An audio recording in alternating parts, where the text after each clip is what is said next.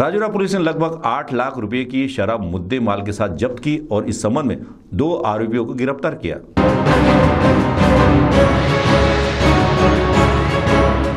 तेलंगाना लक्कड़कोट मार्ग से टाटा सुमो द्वारा देशी शराब ले जाने वाले दो आरोपियों को गिरफ़्तार कर चार लाख की शराब के साथ आठ लाख रुपए का मुद्देमाल राजौरा पुलिस ने जब्त किया। पंद्रह दिसंबर को रात्रि के लगभग दो बजे के दरमियान पुलिस को मिली गुप्त जानकारी के आधार पर वाहनों की जाँच लक्कड़कोट वन विभाग के नाके के पास शुरू की रात्रि के तकरीबन दो बजे के दौरान टाटा सुमो क्रमांक एपी पच्चीस क्यू उन्नीस पचपन यह गाड़ी नाके पर न रुकते हुए तेज गति से आगे बढ़ी। पुलिस को शक आने पर उन्होंने गाड़ी का पीछा कर परिवहन के नए सीमा शुल्क कार्यालय के पास उसे पकड़ा। जब इस गाड़ी की तलाशी ली गई तो उसमें से देशी शराब की पेटियाँ मिली और गाड़ी की कीमत के साथ आठ लाख उन्नीस हज़ार आठ सौ रूपए का मुद्देमाल जब्त किया गया और इस संबंध में दो आरोपियों को गिरफ़्तार किया गया है, जिनके ऊपर विभिन्न धाराओं के तहत गुना दर्ज किया गया है। यह कार्रवाई उप विभागीय पुलिस अधिकारी स्वप्निल जाधव के मार्गदर्शन में पुलिस निरीक्षक मुरलीधर कासार, सहायक पुलिस निरीक्षक सतीश गोरसे के साथ खुशहाल टेकाम, रविंद्र नक्कावार, अमोल मत्ते गणेश मोरले, दत्ता नागरे, तिरुपति जाधव